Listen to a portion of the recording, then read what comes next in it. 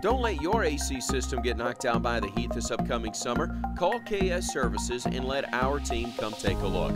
We repair and install all makes and models. We even offer a free no hassle quote and second opinion, so give us a call today. With our flexible financing, you can literally pick your payment. We may even be able to help you knock down that utility bill a bit. KS Heating and Air, the team ensuring your comfort.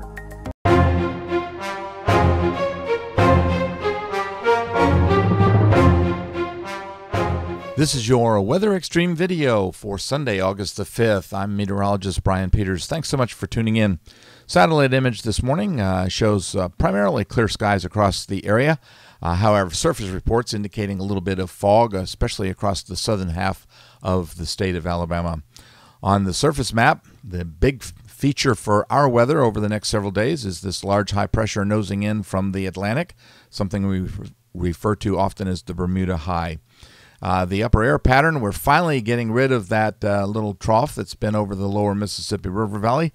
There's still a small closed center there uh, in the vicinity of uh, the Arkansas Louisiana border, uh, but uh, it's basically being weakened by the upper ridge pushing in from the Atlantic as well.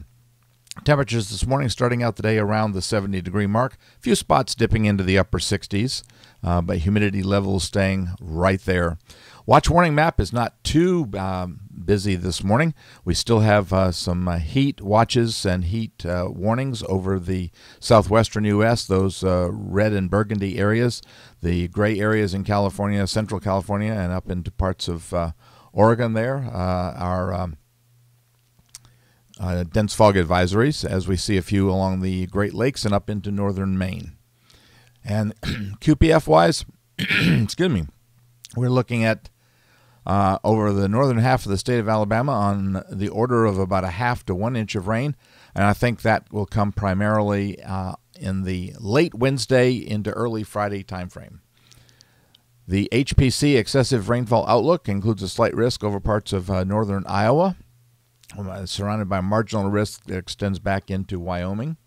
And the SPC has uh, a slight risk area for severe storms that stretches from uh, the central Great Lakes area uh, back to the west southwest across parts of Iowa and Nebraska into Wyoming. And um, both of those basically ahead of a frontal system and an upper uh, trough. The uh, day two outlook includes a marginal risk all the way from Maine across the eastern Great Lakes down into uh, the northeastern corner of New Mexico.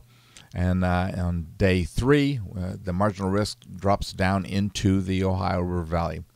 And the tropics still remain relatively quiet. We do have an area of disturbed weather that could be uh, slowly gaining some uh, subtropical or uh, tropical characteristics over the next several days. You can see, though, that it's uh, projected to remain well out to sea. All right, the 060 GFS model run this morning. Here comes the 594 contour, and there comes the upper ridge. That's going to produce some warm days, looking for highs today and Monday in the lower 90s. And I think convection basically is going to be fairly uh, isolated. Uh, there's a look at the HRR, and I call that pretty isolated. Monday, 594 in place across Georgia and Alabama, and uh, we still see the possibility of uh, isolated showers and thunderstorms. And once again, I think Monday is going to be a rather warm day, probably around 93 or 94 for most locations.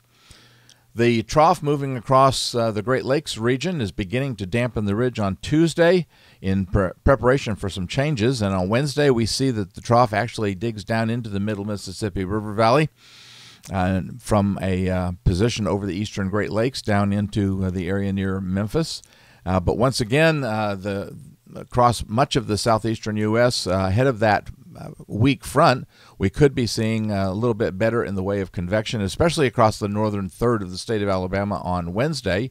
And then on Thursday, we see that trough dragging down into the area. That drags the front down into central Alabama. And I think Thursday is probably going to be the day that uh, most of us are likely to see some rain. And there's the precipitable water values. And certainly when you start getting up uh, at and slightly above two inches, that is a pretty good indicator. Uh, the the overall trough position over the uh, eastern U.S. remains there on Friday. Uh, and so, once again, the front is the main focus. I think much of the moisture will be pushed to the south, but uh, still, Friday, we could see some uh, a little bit more in the way of numerous showers and thunderstorms. Depends on exactly the position. Saturday, the trough uh, is along the eastern uh, coast of the United States, basically about the eastern third, as the upper ridge bulges up into the upper Midwest. Uh, and that keeps uh, a little bit drier air coming into the Tennessee River Valley. So Saturday, probably uh, Tennessee River Valley, nothing in the way of showers, but from uh, central Alabama down to the Gulf Coast, possibility of showers and the better chance along the Gulf Coast. And then Sunday, we see the closed low over the eastern Great Lakes, uh, helping to keep the ridge back over the western Great Lakes and that trough keeps us pretty much unsettled but pushes the moisture down. So I think actually, uh, if this uh, verifies, we should see no showers uh, across the northern, oh, about the northern half of uh, Alabama on Sunday. Going out into voodoo country, and uh, we see that the GFS uh, still keeps a bit of troughiness with a couple of little short waves, one over Pennsylvania, New York there, and then one over Wisconsin. Uh, at uh, this is the 14th of August, but by the uh, 16th of August, we have a ridge over the uh, Florida Peninsula and over the southwestern Atlantic. But by the time we reach out to the 18th of August, we're beginning to show, you know, kind of the ridge building across the southeastern U.S. all, all the way over to the southwest U.S.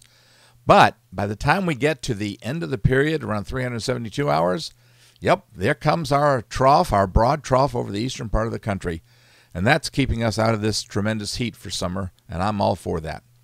Thanks so much for tuning in. Uh, James Spann will be back from his vacation first thing on Monday morning, so he'll have the next Weather Xtreme video. Hope that you have a great day and Godspeed. Summer's just around the corner, and KS Services wants to be the team ensuring your comfort. We repair and install all makes and models, so give us a call today to get a free, no hassle second opinion. KS Heating and Air, the team ensuring your comfort.